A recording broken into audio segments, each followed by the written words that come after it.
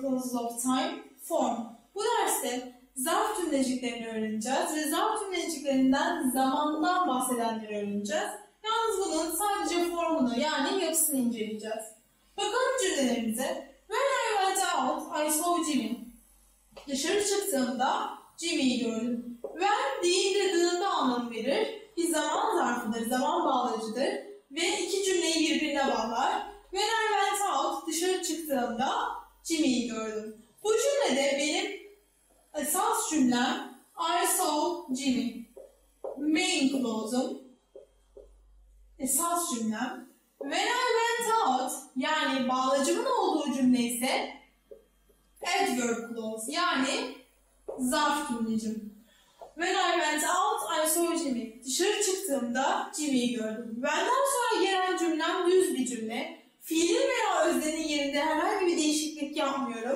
Esas cümlem de aynı şekilde. O da düz bir cümle. Onda da hiçbir değişiklik yapmıyorum. Sadece when'li kısım benim adverb clause'um oluyor. Yani zarf cümlecim oluyor. Esas kısımsa I saw Jimmy benim esas cümlem oluyor. I saw Jimmy when I went out.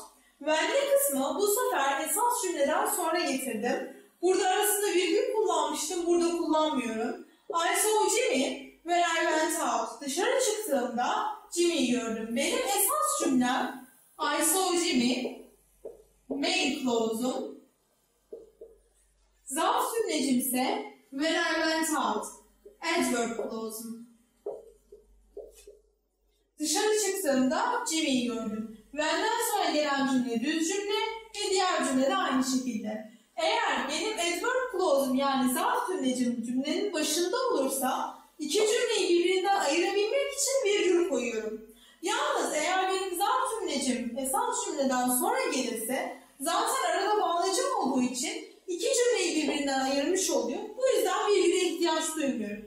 Eğer başta ise virgül var, eğer sonradan geliyorsa virgül yok. When I went out, I saw Jimmy. Bu kullanım yanlıştır. Çünkü burada bir bağlaç var. When I went out. Buradan sonra bir nokta koyamam. Çünkü esas bir cümle, esas bir fiil yok. Bu cümlenin anlamı dışarı çıktığımdadır. Dışarı çıktığımda daha sonra nokta koymadığım gibi Türkçe'de İngilizce'de de nokta koymuyorum. I saw Jimmy. Bu kullanım yanlıştır. Eğer iki cümleyi ayrı ayrı yazmak istiyorsam şöyle yazacağım ben. I went out, dışarı çıktım. I saw Jimmy, Jimmy'yi gördüm. Bağlaç kullanmadım. Bu yüzden burada esas bir cümle elde etmiş oldum. Burada bu adverb clause'ken bu cümle main clause'dur. Ve I went out, I saw Jimmy. Dışarı çıktım, Jimmy'yi gördüm. Öyleyse ben adverb clause'larda yani zarf cümlelerinde when'le veya diğer zaman bağlaçlarıyla beraber kullanıyorum.